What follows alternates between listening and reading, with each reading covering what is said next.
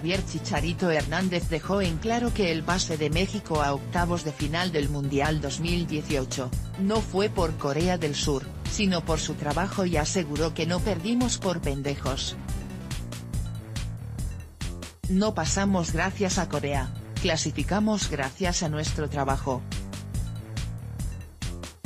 No perdimos por pendejos, de hecho clasificamos y ganamos conciencia porque tuvimos un gran rival y mentalmente vimos dónde mejorar, fue el mensaje que publicó el tapatío en Instagram.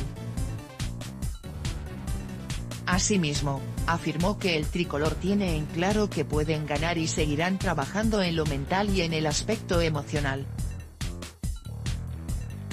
Pidió que los aficionados disfruten la clasificación y aprendamos de los errores.